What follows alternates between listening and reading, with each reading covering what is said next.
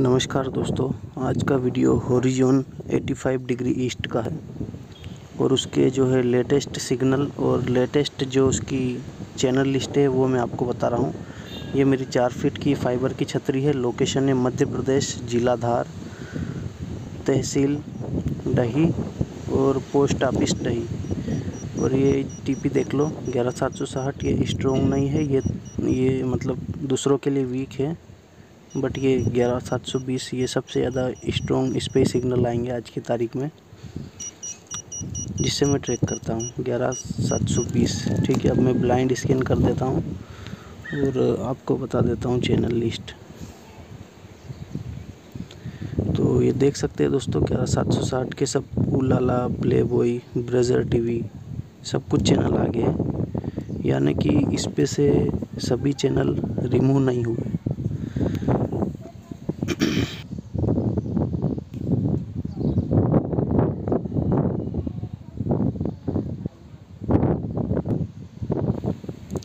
तो ये blind scanning चल रही है। तो जैसा कि दोस्तों, बहुत से यूट्यूबर जो है, बता रहे हैं कि इस पे से सारे चैनल शिफ्ट हो गए 80 डिग्री पे। तो वो सब झूठ बात है, ऐसा कुछ भी नहीं हुआ।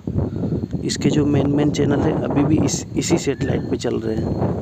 ठीक है, उस पर भी चल रहे हैं, वो बात अलग है बट इस पर तो अभी भी वही है ना। शिफ्ट नहीं हुए, इस पर अभी भी चल रहे हैं। तो अदर जो भी लोग बता रहे हैं, वो झूठ बात बता रहे हैं। बहुत से लोग बता रहे हैं कि इसके पूरे चैनल 80 डिग्री पे शिफ्ट हो गए। तो अगर 80 पे शिफ्ट हो गए तो फिर ये क्या है? ये देखो, बताता हूँ आपको सिग्नल भी बताता हूँ टीपी के साथ।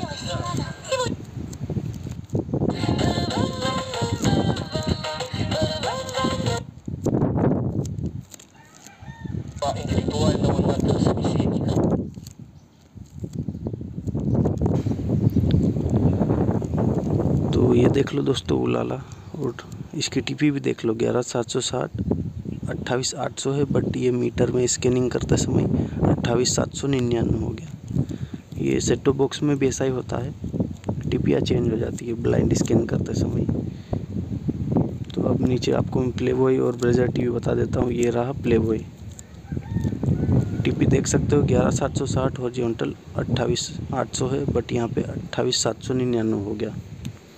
ठीक है, एकदम बढ़िया सिग्नल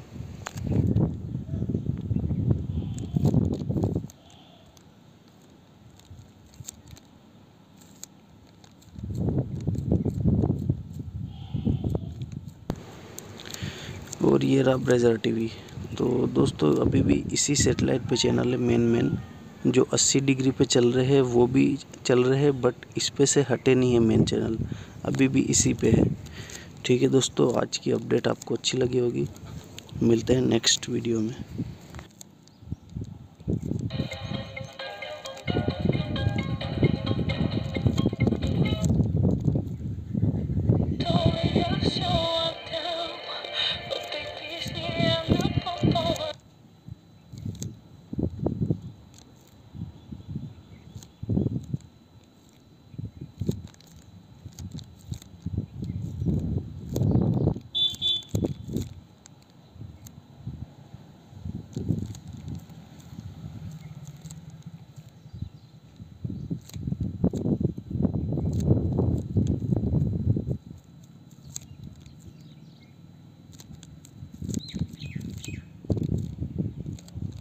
Высокие сапоги.